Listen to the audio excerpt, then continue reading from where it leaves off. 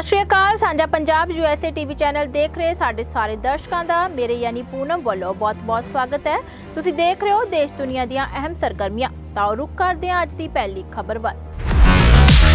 ਪੰਜਾਬੀ ਗਾਇਕ ਸਿੱਧੂ ਮੂਸੇਵਾਲਾ ਨੂੰ ਮਾਰਨ ਦੇ ਲਈ ਸ਼ੂਟਰਾਂ ਦੇ ਵੱਲੋਂ AK47 ਰਾਈਫਲ 31 ਬੋਰ ਤੇ 4 ਜਾਂ 5 ਐਮਐਮ ਪਿਸਟਲਾਂ ਦੀ ਜਿਹੜੀ ਵਰਤੋਂ ਹੈ, ਉਹ ਕੀਤੀ ਗਈ ਸੀ। ਸੂਤਰਾਂ ਦਾ ਕਹਿਣਾ ਹੈ ਕਿ ਮੌਕੇ ਤੋਂ ਬਰਾਮਦ ਹੋਏ ਕਾਰਤੂਸਾਂ ਦੀ ਫੋਰੈਂਸਿਕ ਜਾਂਚ ਤੋਂ ਹਥਿਆਰਾਂ ਦੀ ਜਿਹੜੀ ਸ਼ਨਾਖਤ ਹੈ, ਉਹ ਹੋ ਗਈ ਹੈ। ਹਾਲਾਂਕਿ ਪੁਲਿਸ ਹਥਿਆਰ ਬਰਾਮਦ ਕਰਨ ਦੇ ਵਿੱਚ ਨਾਕਾਮ ਰਹੀ ਹੈ। ਦੱਸਿਆ ਜਾ ਰਿਹਾ ਹੈ ਕਿ ਸ਼ੂਟਰਾਂ ਦੇ ਵੱਲੋਂ ਮੌਕੇ ਤੇ 40 ਤੋਂ 45 ਜਿਹੜੀਆਂ ਗੋਲੀਆਂ ਸੀ, ਉਹ ਚਲਾਈਆਂ ਗਈਆਂ ਸਨ। ਸਾਰੇ ਸ਼ੂਟਰ ਨਸ਼ੇ ਵਿੱਚ ਦੱਸੇ ਜਾ ਰਹੇ ਨੇ ਤੇ ਇਸ ਦੇ ਕਾਰਨ ਕਈ ਗੋਲੀਆਂ ਜਿਹੜੀਆਂ ਨੇ ਉਹ ਕੰਧ ਦੇ ਵਿੱਚ ਲੱਗ ਗਈਆਂ ਸੀ। ਜਾਂਚ ਤੋਂ ਪਤਾ ਲੱਗਾ ਹੈ ਕਿ ਸ਼ੂਟਰਾਂ ਨੇ ਵੱਖ-ਵੱਖ ਦਿਸ਼ਾਵਾਂ ਦੇ ਵਿੱਚ ਭੱਜਣ ਤੋਂ ਪਹਿਲਾਂ ਹਰਿਆਣਾ ਦੇ ਇੱਕ ਵਿਅਕਤੀ ਨੂੰ ਹਥਿਆਰ ਜਿਹੜੇ ਨੇ ਉਹ ਸੌਂਪੇ ਸਨ। ਰਾਸ਼ਟਰੀ ਰਾਜਧਾਨੀ ਦਿੱਲੀ ਦੇ ਵਿੱਚ ਦੱਖਣੀ ਦਿੱਲੀ ਪੁਲਿਸ ਨੇ ਗੈਂਗਸਟਰਾਂ ਤੇ ਉਹਨਾਂ ਦੇ ਸਾਥੀਆਂ ਨੂੰ ਵਿਦੇਸ਼ ਭੱਜਣ ਦੇ ਲਈ ਫਰਜ਼ੀ ਪਾਸਪੋਰਟ ਮੁਹੱਈਆ ਕਰਵਾਉਣ ਦੇ ਦੋਸ਼ ਦੇ ਵਿੱਚ ਚਾਰ ਲੋਕਾਂ ਦੀ ਜਿਹੜੀ ਗ੍ਰਿਫਤਾਰੀ ਹੈ ਉਹ ਕੀਤੀ ਹੈ। ਪੁਲਿਸ ਨੇ ਦੱਸਿਆ ਕਿ ਗੈਂਗਸਟਰ ਲਾਰੈਂਸ ਬਿਸ਼ਨੋਈ ਦੇ ਭਰਾ ਤੇ ਉਸ ਦੇ ਸਾਥੀਆਂ ਦੇ ਫਰਜ਼ੀ ਪਾਸਪੋਰਟਾਂ ਦੇ ਸਹਾਰੇ ਵਿਦੇਸ਼ ਭੱਜਣ ਦੇ ਵੀ ਸਬੂਤ ਮਿਲੇ ਹਨ।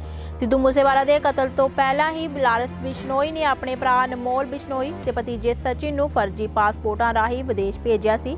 ਸੂਤਰਾਂ ਦੇ ਹਵਾਲੇ ਤੋਂ ਰਿਪੋਰਟਾਂ ਦੇ ਵਿੱਚ ਕਿਹਾ ਗਿਆ ਹੈ ਕਿ ਬਿਸ਼ਨੋਈ ਨੇ ਪੁਲਿਸ ਪੁੱਛਗਿੱਛ ਦੇ ਦੌਰਾਨ ਆਪਣੇ ਭਰਾ ਤੇ ਭਤੀਜੇ ਦੇ ਵਿਦੇਸ਼ ਭੱਜਣ ਦੀ ਜਿਹੜੀ ਗੱਲ ਹੈ, ਉਹ ਕਹੀ ਸੀ। ਉਦੋਂ ਤੋਂ ਹੀ ਪੁਲਿਸ ਫਰਜ਼ੀ ਪਾਸਪੋਰਟ ਬਣਾਉਣ ਵਾਲਿਆਂ ਦੀ ਭਾਲ ਕਰ ਰਹੀ ਸੀ ਜਿਸ ਦੇ ਵਿੱਚ ਹੁਣ ਸਫਲਤਾ ਪੁਲਿਸ ਨੂੰ ਮਿਲ ਗਈ ਹੈ। ਦਿੱਲੀ ਦੇ ਵਿੱਚ ਇੱਕ ਸਿੱਖ ਮਹਿਲਾ ਉਮੀਦਵਾਰ ਨੂੰ ਮੁਕਾਬਲੇ ਦੀ ਪ੍ਰੀਖਿਆ ਦੇ ਵਿੱਚ ਸ਼ਾਮਿਲ ਹੋਣ ਤੋਂ ਰੋਕ ਦਿੱਤਾ ਗਿਆ ਕਿਉਂਕਿ ਉਹਨਾਂ ਨੇ ਕੜਾ ਪਾਇਆ ਹੋਇਆ ਸੀ। ਔਰਤ ਮੁਤਾਬਕ ਉਹ ਐਡਮਿਟ ਕਾਰਡ ਦੇ ਵਿੱਚ ਦੱਸੇ ਸਮੇਂ ਦੇ ਮੁਤਾਬਕ ਪ੍ਰੀਖਿਆ ਸ਼ੁਰੂ ਹੋਣ ਤੋਂ ਕੁਝ ਸਮਾਂ ਪਹਿਲਾਂ ਪਹੁੰਚ ਗਈ ਸੀ, ਪਰ ਉਸ ਨੂੰ ਕੜਾ ਉਤਾਰ ਕੇ ਹੀ ਪ੍ਰੀਖਿਆ ਦੇ ਵਿੱਚ ਬੈਠਣ ਦੀ ਜਿਹੜੀ ਇਜਾਜ਼ਤ ਹੈ ਉਹ ਦਿੱਤੀ ਗਈ ਸੀ। ਮਹਿਲਾ ਨੇ ਹੁਣ ਇਸ ਮਾਮਲੇ ਦੇ ਵਿੱਚ ਦਿੱਲੀ ਹਾਈ ਕੋਰਟ ਦਾ ਦਰਵਾਜ਼ਾ ਖੜਕਾਇਆ ਮਹਿਲਾ ਨੇ ਪੀਜੀਟੀ ਇਕਨੋਮਿਕਸ ਦੀ ਪ੍ਰੀਖਿਆ ਦੇ ਵਿੱਚ ਬੈਠਣ ਦੇ ਲਈ ਇਜਾਜ਼ਤ ਨਾ ਦੇਣ ਨੂੰ ਚੁਣੌਤੀ ਦਿੰਦੇ ਹੋਏ ਦਿੱਲੀ ਹਾਈ ਕੋਰਟ ਦੇ ਵਿੱਚ ਪਟੀਸ਼ਨ ਜਿਹੜੀ ਦਾਇਰ ਕੀਤੀ ਹੈ। ਮਹਿਲਾ ਦਾ ਕਹਿਣਾ ਹੈ ਕਿ ਅਧਿਕਾਰੀਆਂ ਦੀ ਕਾਰਵਾਈ ਨਾ ਸਿਰਫ ਇਸ ਆਧਾਰ ਤੇ ਬਚਾਅ ਨਹੀਂ ਕੀਤਾ ਜਾ ਸਕਦਾ ਕਿ ਕਿ ਉਹਨਾਂ ਨੇ ਨੋਟੀਫਿਕੇਸ਼ਨ ਜਿਹੜਾ ਜਾਰੀ ਕੀਤਾ ਸੀ ਕਿ ਕੜਾ ਜਾਂ ਕਿਰਪਾਨ ਵਾਲੇ ਉਮੀਦਵਾਰ ਨੂੰ ਰਿਪੋਰਟਿੰਗ ਸਮੇਂ ਤੋਂ ਘੱਟੋ ਘੱਟ 1 ਘੰਟਾ ਪਹਿਲਾਂ ਪ੍ਰੀਖਿਆ ਕੇਂਦਰ ਤੇ ਪਹੁੰਚਣਾ ਹੋਏਗਾ। ਸ਼੍ਰੀਲੰਕਾ ਦੇ ਰਾਸ਼ਟਰਪਤੀ ਗੋਟਾਬਾਇਆ ਰਾਜਪਾਕਸ਼ੇ ਦੇਸ਼ ਛੱਡ ਕੇ ਭੱਜ ਗਏ ਹਨ। ਉਹ ਆਪਣੇ ਪੂਰੇ ਪਰਿਵਾਰ ਦੇ ਨਾਲ ਮਾਲਦੀਵ ਲਈ ਰਵਾਨਾ ਹੋ ਗਏ ਨੇ। ਅੱਜ ਯਾਨੀ 13 ਜੁਲਾਈ ਨੂੰ ਉਹਨਾਂ ਨੇ ਅਧਿਕਾਰਿਕ ਤੌਰ ਤੇ ਆਪਣੇ ਅਹੁਦੇ ਤੋਂ ਅਸਤੀਫਾ ਦੇ ਦਿੱਤਾ ਇਸ ਤੋਂ ਪਹਿਲਾਂ ਮੰਗਲਵਾਰ ਨੂੰ ਰਾਜਪਾਕਸ਼ੇ ਨੇ ਛੋਟੇ ਭਰਾ ਤੇ ਸਾਬਕਾ ਵਿੱਤ ਮੰਤਰੀ ਬਾਸਿਲ ਰਾਜਪਕਸ਼ੇ ਨੇ ਵੀ ਸ਼੍ਰੀਲੰਕਾ ਛੱਡਣ ਦੀ ਜਿਹੜੀ ਕੋਸ਼ਿਸ਼ ਹੈ ਉਹ ਕੀਤੀ ਸੀ, ਪਰ ਉਹਨਾਂ ਨੂੰ ਹਵਾਈ ਅੱਡੇ ਤੇ ਰੋਕ ਲਿੱਤਾ ਗਿਆ। ਸ਼੍ਰੀਲੰਕਾ ਦੇ ਵਿੱਚ ਭਾਰੀ ਆਰਥਿਕ ਸੰਕਟ ਦੇ ਵਿਚਕਾਰ ਹਫੜਾ ਦਫੜੀ ਦਾ ਮਾਹੌਲ ਹੈ। ਪਿਛਲੇ ਹਫ਼ਤੇ ਰਾਜਪਕਸ਼ੇ ਨੂੰ ਭਾਰੀ ਜਨਤਕ ਰੋਸ ਦੇ ਵਿਚਕਾਰ ਆਪਣੀ ਸਰਕਾਰੀ ਰਹਾਇਸ਼ ਤੋਂ ਭੱਜਣਾ ਪਿਆ ਸੀ। ਪ੍ਰਦਰਸ਼ਨਕਾਰੀਆਂ ਨੇ ਰਾਜਧਾਨੀਆਂ ਦੀਆਂ ਤਿੰਨ ਮੁੱਖ ਇਮਾਰਤਾਂ, ਰਾਸ਼ਟਰਪਤੀ ਭਵਨ, ਰਾਸ਼ਟਰਪਤੀ ਸ- ਤੇ ਪ੍ਰਧਾਨ ਮੰਤਰੀ ਦੀ ਜਿਹੜੀ ਸਰਕਾਰੀ ਰਹਾਇਸ਼, ਟੈਂਪਲ ਟ੍ਰੀ ਤੇ ਜਿਹੜਾ ਕਬਜ਼ਾ ਹੈ ਉਹ ਕਰ ਲਿਆ ਹੈ। ਅਫਰੀਕੀ ਮੂਲ ਦੇ ਕੋਲੰਬੀਆ ਦੇ ਨੇਤਾ ਲੁਇਸ ਗਿਲਬਰਟੋ ਮੋਰਿਲੋ ਨੂੰ ਅਮਰੀਕਾ ਦੇ ਵਿੱਚ ਕੋਲੰਬੀਆ ਦਾ ਰਾਜਦੂਤ ਨਿਯੁਕਤ ਕਰਨ ਦਾ ਜਿਹੜਾ ਫੈਸਲਾ ਹੈ, ਉਹ ਕੀਤਾ ਗਿਆ ਉਹ ਅਮਰੀਕਾ ਦੇ ਵਿੱਚ ਕੋਲੰਬੀਆ ਦੇ ਪਹਿਲੇ ਗੈਰ ਗੋਰੇ ਰਾਜਦੂਤ ਹੋਣਗੇ। ਰਾਸ਼ਟਰਪਤੀ ਚੁਣੇ ਗਏ ਗੁਸਤਾਵੋ ਪੈਟਰੋ ਨੇ ਮੰਗਲਵਾਰ ਨੂੰ ਟਵੀਟ ਕਰਕੇ ਇਹ ਜਾਣਕਾਰੀ ਦਿੱਤੀ। ਉਹਨਾਂ ਨੇ ਕਿਹਾ ਕਿ ਮੋਰਿਲੋ ਅਗਲੇ ਮਹੀਨੇ ਅਹੁਦੇ ਦੀ ਸਹੁੰ ਚੁੱਕਣ ਵਾਲੇ ਕੋਲੰਬੀਆ ਦੇ ਸਭ ਤੋਂ ਮਹੱਤਵਪੂਰਨ ਡਿਪਲੋਮੈਂਟ ਹੋਣਗੇ। ਮੋਰਿਲੋ ਨੇ ਰੂਸ ਦੇ ਵਿੱਚ ਪੜ੍ਹਾਈ ਕੀਤੀ ਸੀ ਤੇ ਅਰਧ ਸੈਨਿਕ ਸਮੂਹ ਦੁਆਰਾ ਅਗਵਾ ਕੀਤੇ ਜਾਣ ਤੋਂ ਬਾਅਦ ਆਪਣਾ ਦੇਸ਼ ਛੱਡ ਦਿੱਤਾ ਸੀ।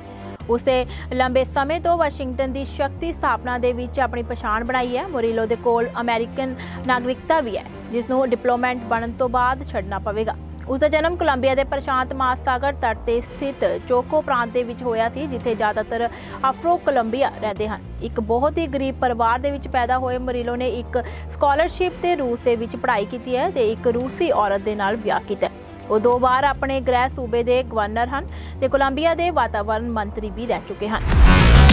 ਬੀਤੇ ਦਿਨ ਮੰਗਲਵਾਰ ਦੀ ਦੁਪਹਿਰ ਨੂੰ ਇੱਕ ਪਰਿਵਾਰ ਤੇ ਉਹਨਾਂ ਦੇ ਦੋਸਤਾਂ ਦੇ ਦੁਆਰਾ ਚਾਰਟਰ ਕੀਤੀ ਗਈ ਇੱਕ ਜੈਟ ਕਿਸ਼ਤੀ ਇੰਟਰਰੈਪਿਡ ਮਿਊਜ਼ੀਅਮ ਨੇੜੇ ਹ- ਨਦੀ ਦੇ ਵਿੱਚ ਪਲਟ ਗਈ ਹੈ। ਇਸ ਕਿਸ਼ਤੀ ਦੇ ਵਿੱਚ ਦਰਜਨ ਭਰ ਤੇ ਕਰੀਬ ਲੋਕ ਸਵਾਰ ਸਨ। ਪੁਲਿਸ ਨੇ ਦੱਸਿਆ ਕਿ ਕਿਸ਼ਤੀ ਪਲਟਣ ਦੇ ਕਾਰਨ ਦੋ ਲੋਕਾਂ ਦੀ ਮੌਤ ਹੋ ਗਈ ਹੈ ਤੇ ਤਿੰਨ ਲੋਕ ਗੰਭੀਰ ਰੂਪ ਵਿੱਚ ਜ਼ਖਮੀ ਹੋ ਗਏ ਨੇ।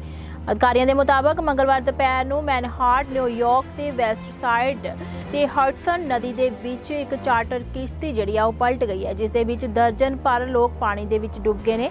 ਜਿਨ੍ਹਾਂ ਨੂੰ ਡੁੱਬਦੇ ਹੋਏ ਕੱਢਿਆ ਗਿਆ ਹੈ, ਉਹਨਾਂ ਦੇ ਵਿੱਚੋਂ ਦੋ ਲੋਕਾਂ ਦੀ ਮੌਤ ਹੋ ਗਈ ਹੈ ਤੇ ਦੋ ਨਿਊਯਾਰਕ ਵਾਟਰਵੇ ਫੈਰੀ ਹੈ ਜਿਨ੍ਹਾਂ ਦੇ ਵਿੱਚ ਗਾਰਡਨ ਸਟੇਟ ਤੇ ਜੌਨ ਸਟੀਵਨਸ ਦੇ ਦੁਪਹਿਰ 3 ਵਜੇ ਦੇ ਕਰੀਬ ਕਿਸ਼ਤੀ ਦੇ ਵਿੱਚ ਡੁੱਬਦੇ ਹੋਏ ਨੌ ਲੋਕਾਂ ਨੂੰ ਬਚਾਇਆ ਗਿਆ, ਪਰੰਤੂ ਦੋ ਲੋਕ ਮਾਰੇ ਗਏ ਹਨ।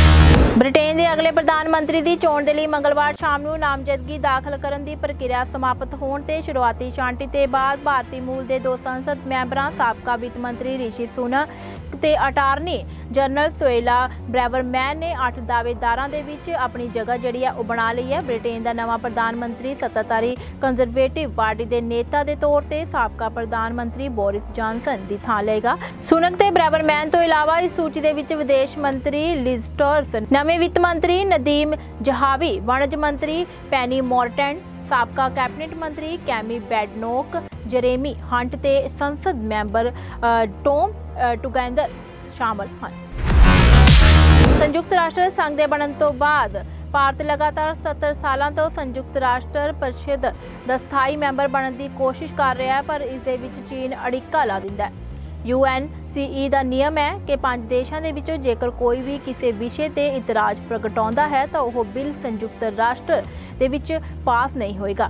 ਫਰਾਂਸ, ਅਮਰੀਕਾ ਤੇ ਰੂਸ ਨੇ ਕਈ ਵਾਰ ਭਾਰਤ ਦਾ ਜਿਹੜਾ ਸਮਰਥਨ ਹੈ ਉਹ ਕੀਤਾ ਹੈ ਤੇ ਪਰ ਚੀਨ ਹਮੇਸ਼ਾ ਭਾਰਤ ਦੇ ਰਾਹ ਦਾ ਰੋੜਾ ਬਣ ਜਾਂਦਾ ਹੈ। ਚੀਨ ਕਿਸੇ ਵੀ ਕੀਮਤ ਤੇ ਭਾਰਤ ਨੂੰ ਸੰਯੁਕਤ ਰਾਸ਼ਟਰ ਸੁਰੱਖਿਆ ਪਰਿਸ਼ਦ ਦੇ ਸਥਾਈ ਮੈਂਬਰ ਦੇ ਰੂਪ ਵਿੱਚ ਨਹੀਂ ਦੇਖਣਾ ਚਾਹੁੰਦਾ।